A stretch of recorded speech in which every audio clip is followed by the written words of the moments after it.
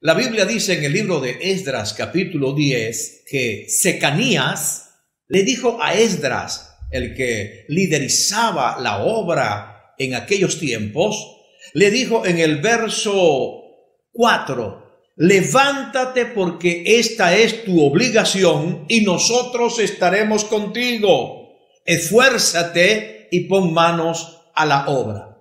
Hay hombres de Dios, hay pastores, evangelistas, ministros de Dios que hoy por hoy están debilitados, se sienten sin fuerza, sin ánimo de continuar, de alguna manera contrariados por la opresión, de pronto sin deseos de seguir. Pero hoy Dios te da una palabra, levántate, porque esta es tu obligación.